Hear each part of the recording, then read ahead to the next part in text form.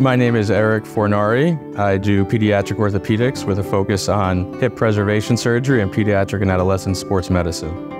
I've always been drawn to helping people, and medicine seemed like a natural fit. I'm one of those people who always knew I wanted to be a doctor. Um, I've always enjoyed helping people and putting myself in a position where uh, someone else is in a, a challenging situation and I, I find myself drawn to help them.